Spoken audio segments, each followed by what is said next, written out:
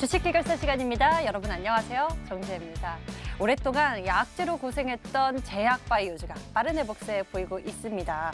특히 HAB 같은 경우에는요, 최근 연이은 하, 어, 연이은 급등세를 이어가면서 어느새 셀트리온 헬스케어와 함께 코스닥 시가총액 1위 쟁탈전을 벌이고 있는 모습인데요.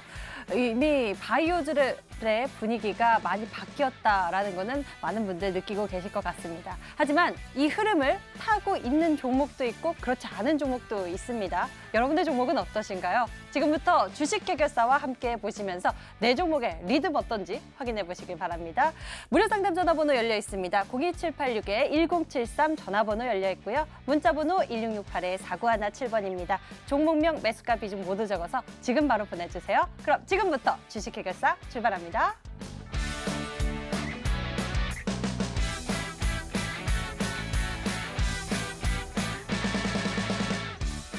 오늘의 핫 스탁.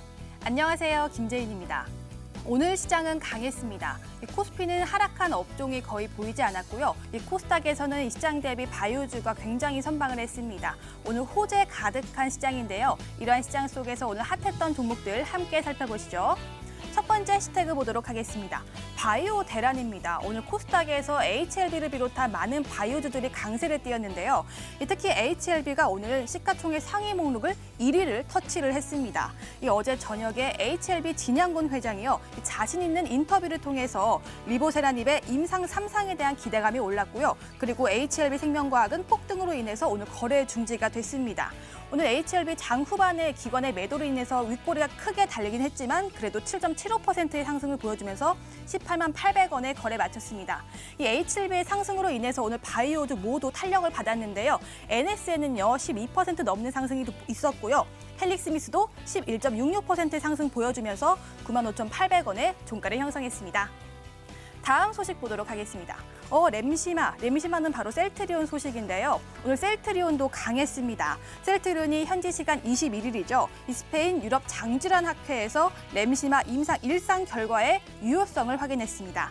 이 소식으로 오늘 셀트리온 그룹주 다 함께 올랐습니다. 셀트리온 이 코스피에 상장되어 있는 기업이죠. 19만 1,500원을 기록하면서 이 전거래일 대비 5.22% 상승했고요. 이 코스닥 시가총액 1위 지켜낸 셀트리 헬스케어는요. 6.6% 상승하면서 5만 6,500원에 거래 마쳤습니다. 이어서 소식 보도록 하겠습니다. 아기 상어인데요. 아기 상어 하면 바로 자동 재생이 됩니다. 아기 상어 뚜루두.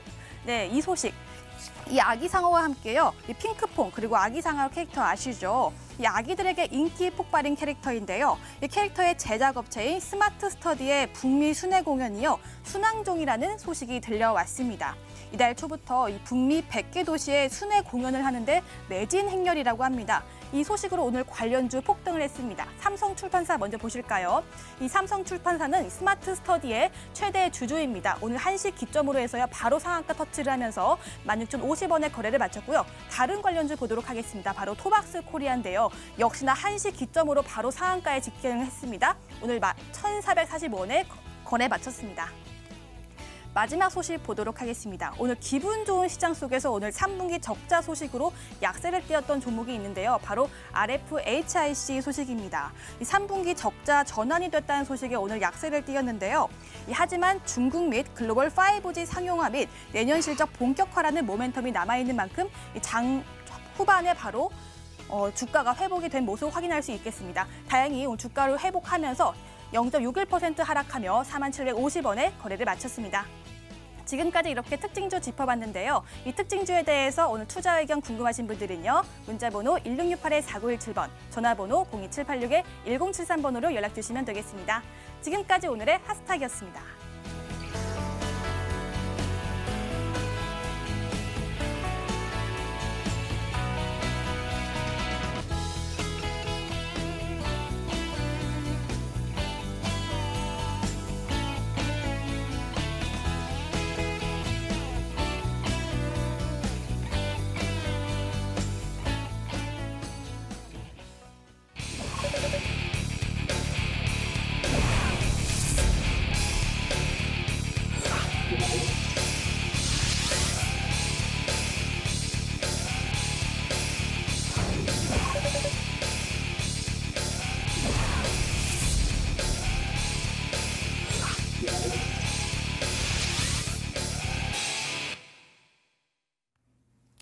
오늘 여러분들과 함께 주식 해결사 두 분 소개해 드리겠습니다. 올스탁 윤사물 전문가 그리고 김민재 전문가 나와 주셨어요. 반갑습니다.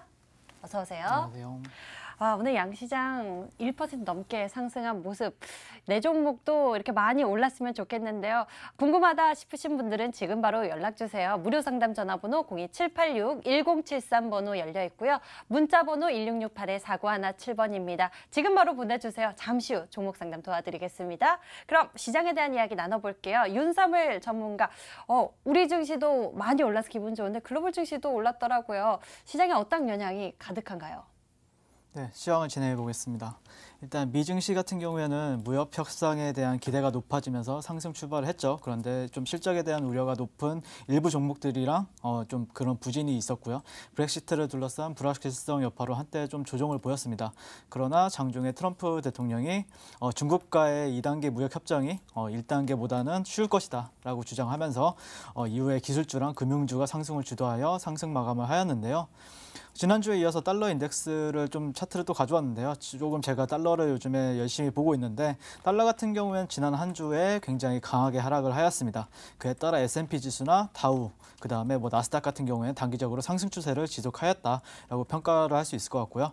외환 시장에서는 파운드화나 유로화가 좀 강세를 보였습니다. 그에 따라서 그래서 현재 시장 참여자들이 지금 현재 상승 트렌드 하단으로 인지할 수 있는 구간이 다가오고, 다가오고 있는데요.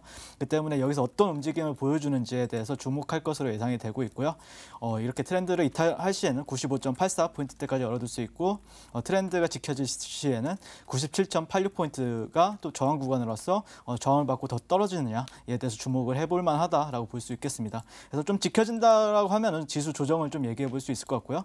추가적으로 하락 시에는 미 증시나 국내 증시는 좀 단기적으로 어, 횡보나 아니면 상승을 어, 열어둘 수 있다라고 보시면 되겠습니다. 이어서 국내 증시를 한번 설명해 드릴 텐데요. 어, 미국에서 무역 협상에 대한 기대가 높아지면서 필레데, 필라델피아 반도체 지수가 상승을 이끌어 주었습니다. 그 영향으로 삼성전자는 실적 개선 흐름으로 이어갈 것이라는 전망에 어, 지수 상승을 견인하였고요. 함께 반도체 대형주인 SK 하이닉스도 동반 상승 흐름을 보였습니다. 어, 앞서 앵커님들이 이제 말씀해 주신 게 특징 섹터로는 HLB 종목을 좀 HLB랑 그룹주를 이렇게 가져왔는데요. 어, 10월 코스닥 시장에서 가장 뜨거운 종목이라고 하면 HLB가 어, 가장 핫하죠 요즘에. 그래서 좀 HLB 같은 경우에 4개월 만에 저점 대비 약 어, 10배 정도의 상승을 보였는데요. 일단 HLB 시총이 7조 6천 원 6천억 원까지 올라왔었어요. 어, 시총, 시총 1위인 셀티론 헬스퀘어 같은 경우에 8조 수준이니까 이런 흐름이라면은 어, 10월 내에는 순위가 역전될 수도 있다라고 볼 수 있겠는데요. 일단 조금 더 상승을 저는 열어두고는 있는데 어, 신규로서 접근 시에는 손절가를 좀 짧게 잡고 대응하는 게 좀 더 바람직하지 않나라고 설명이 가능할 것 같고요. 이전에 2, 3만 원대에서 강력 매수였다라고 하면은 앞으로는 분할 매도 관점에서는 좀 유리한 시점이다라고 보시면 되겠습니다. 그래서 어, 제가 예전에 이제 투자를 처음 이제 스승한테 배웠을 때 들었던 게 이제 광세장 같은 경우에는 비관 속에서 태어나 어, 회의 속에서 자라며 낙관 속에서 성숙해 어, 또 행복, 행복 속에서 죽는다라는 말이 있습니다. 그래서 최고로 비관적일 때가 가장 좋은 매수 시점이었고요. 그 다음에 최고로 낙, 낙관적일 때가 가장 좋은 매도 시점이다라는 말을 어, 드리고 싶습니다. 이어서 문재인 구, 대통령의 국회 시장 연설이 있었는데요. 오늘 국회에서 이제 문재인 대통령이 시장 연설을 좀 간, 내용을 간단하게 정리를 해, 하게 되면요.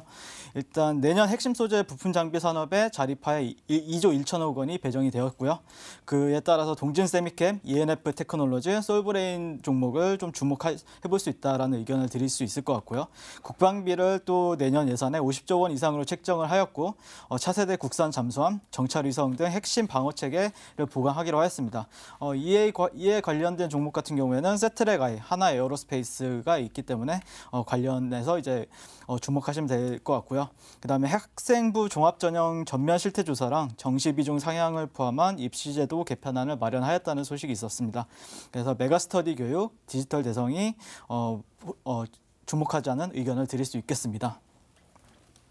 바이오주들 들썩이니까 이것도 좀 투자 의견 챙겨봐야 할 것 같고요. 그리고 이 반도체 소재 부품주들 또는 이 정책 수요 모멘텀 있는 종목들 좀 분석을 해봐야 할 것 같은데요. 저희가 먼저 어제 해결해드리지 못했던 고민 종목들부터 풀어보겠습니다. 오늘의 보너스 상담 리스트 제인 캐스터가 꼽아주세요. 네, 주식 해결사 보너스 상담 시간입니다. 어제 프로그램에서 상담 못 해드렸던 종목들 가운데 저희가 추가로 선정해서 전문가 의견 간단하게 들어볼게요. 종목함 열어주세요.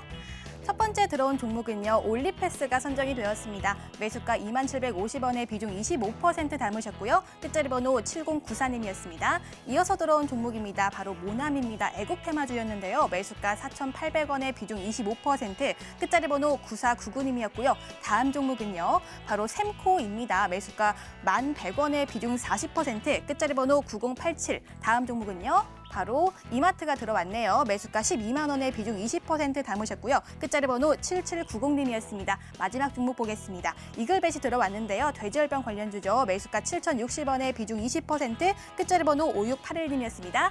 지금까지 시청자 접수 목록이었습니다.